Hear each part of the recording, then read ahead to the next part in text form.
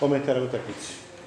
Dobro večer, prije svega čestitali samo Sajeviću na dobroj utakmici, dobro smo trenirali, bitno samo da se nismo ponijeli posle pobjede vrlo jednom. Ovaj, želim sreću Kvateru dalje takmičenju i to je to. Hvala. Dobro večer, želio bih da čestitam ekipi Dinamo na pobjedi.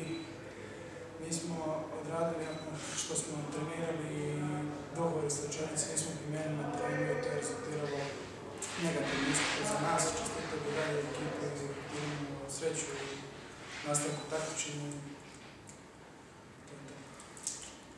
Znači. Može, može i kraće ide. Može, može, može. Dobro večer. Čestitao bi igračima Dinama na zasluženoj pobjedi večeras. Publika mislim da je imala šta da vidi od jedne i od druge ekipe. Bilo i dosta golova, 68 golova, tako da mislim da su zadovoljni igrom i ekip, domaće ekipe Protera i ono što je Dinamo prikazao večeras. Čestitam im jer stvarno je teško ovaj, da onako posle jedne utakmice sa Vojvodinom gdje smo ostvarili pobjedu, da se malo ovaj, spustimo na zemlju i da ovako na jednom žučem terenu odigramo danas ovaj, maksimalno i da u jednom momentu nije dolazilo do pitanje pobjede. Nas očekuje nova utakmica u sredu, pa imamo utakmicu u subotu sa Italijanima, neka je skup, pa opet sreda, tako da sam danas malo dao i veću šansu igračima koji su imali manje prilike, nadam se će to imati prilike i da im u narednoj utakmici da što odmornije sačekamo komersana. Još jednom čestitam Proleteru, želim puno sreće u nastavku takmičenja. Hvala. Dobro večer.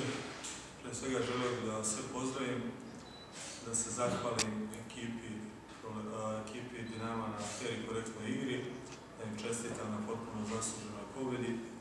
Što se tiče moje ekipe, mi u ovom skraćenom rosteru koji imamo, pokušali smo večeras da damo svoj maksimum. Mislim da, smo prije svega večerašnju utakmicu ovaj, izgubili zbog velikog broja, broja promašenih zicera.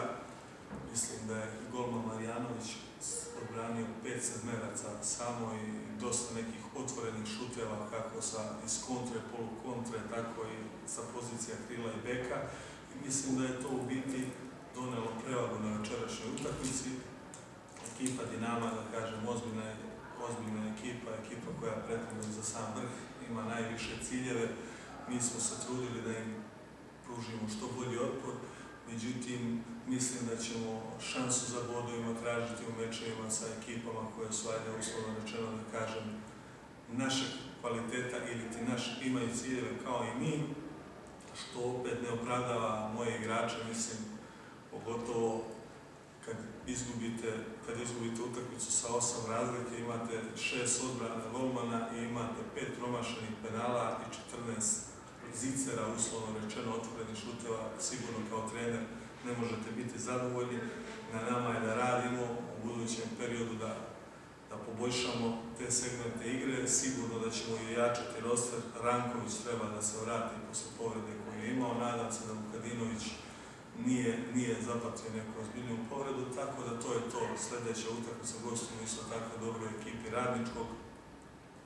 Kao što i sami znate da smo imali dosta težak raspored faktički u prvih 6-7 kola igramo sa, sa, sa pet favorita, tako da ne želim se, opet treba na svakoj utakmici da damo svoj maksimum i kažem, mlada smo ekipa i mislim da nas očekuju tek dobre partije u nastavku prvenstva.